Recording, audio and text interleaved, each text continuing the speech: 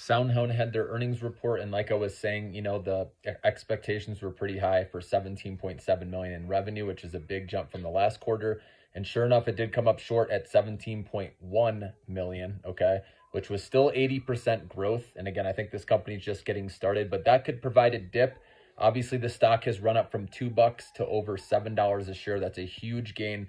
So that's what I was saying in that video I posted on SoundHound's earnings, right? To expect the sell off and that would be a better time to enter, right? I would give it a couple days at least for this to fall, see if it does, okay? And then that would be a better point to buy and go long. But again, they still have a pretty big valuation, okay, that they need to catch up to, which again, I think long term they will.